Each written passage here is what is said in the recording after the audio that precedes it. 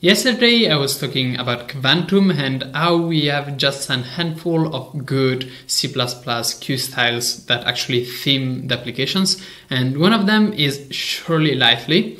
And by the way, the developer who, of Lightly, uh, I'm not sure how to pronounce this, Lux, Lux I guess, um, was actually active in the VDG room and we were able to like give suggestions and such, which was very nice. This is actually a fork of uh, Breeze. So it is based on the Breeze theme and that also tells you that it's not really easy to start a Q-style theme from scratch, which again is why Kvantum exists in the first place. But in this case, Breeze was forked and it was improved, of course, in a direction that Breeze itself couldn't quite take because it's a different kind of theme. But for those who like this kind of things, like transparency and stuff, uh, it, it, was improved for those people. And it's a rather interesting theme. So I've got in, installed, and let me actually tell you right away how to get this. And again, depends on your distribution. Uh, if you are on Arch or OpenSUSE or Fedora, it's fine. Otherwise, you have to manually um, build this. I was on Ubuntu, I had to build this. It's not particularly difficult. You just copy paste and you're done. So it's pretty easy. It's not as easy as clicking uh, get from the KDE store, but still. So let's open up Dolphin. Now, by default, it might look somewhat out of place, somewhat, and that's simply because some components, such as the title bar, are not actually directly themed by the application style.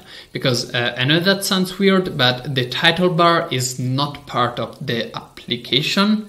Uh, it, it's a decoration that's added by the window manager. So that's themed by the window manager using decoration settings. Uh, themes, sorry, and if you want to theme this to be consistent, I think I think that installing uh, Lightly should also give you one window decoration for consist consistency. So here it is, okay, Lightly. So you also switch that one. Still, you can see that we've got some nice things such as uh, the sidebar is actually transparent, which I personally love. I should probably use a normal color scheme. But uh, not only that, Lightly also customizes stuff like uh, buttons and tab bars, and you can see this here nicely. These are tabs and they don't look like this at all in Breeze. They will also look like this, I think, if you use like Kate, in theory at least. Okay, in this. Yes, you can see that they use a different style compared to default that you might prefer. It actually looks pretty nice, so yeah. You can you can customize some of the, of the things like uh, the transparency of course. Context menus are also transparent to some extent. You can see that by right clicking the wallpaper you can see that it is transparent and you can change the corner radius but I don't actually remember how this one works so sorry about that it still might require some tweaking uh, of the theme to actually get to this perfect look that's showcased in the screenshots. However, that's due to applications made or being made of different components and each component has to be correctly configured like the decoration the application theme the color scheme and everything so that is uh, slightly annoying to set up actually i think that you also need a color scheme to enable this completely. Yep, sorry about that. It's Lightly and um, it, it, improves it somewhat, so now it's more consistent. And um, the blur is broken for the decoration. That's another things that you have to correctly set up and stuff.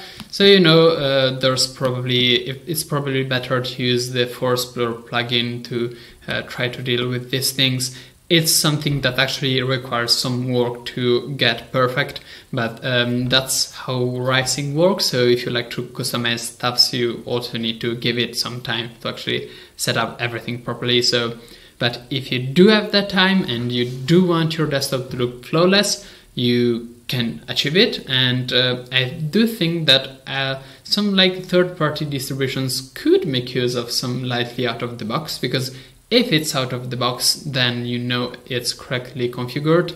The reason why uh, very few like Lightly hasn't quite been, um, nothing of Lightly, let me say this, has been upstreamed to Breeze is, well, not only the fact that it has a very clear, distinctive look, which is different from Breeze, and Breeze is not really interested in trying to be something else. It tries to be Breeze and tries to improve at it, but also there's the fact that some of the things that Lightly do does, sorry, are somewhat hacky things, just like Kvantum, in order to get the blurred. Um, it's not currently blurred on my computer, but in order to get the blurred uh, toolbars, you do need some uh, hacks. So that's a sad reality. Hopefully, again, that will improve in the future, but for now, Lightly is probably, in my opinion, the not first party best application desktop style that we currently have. So check it out and uh, tell me tell me what you think of it.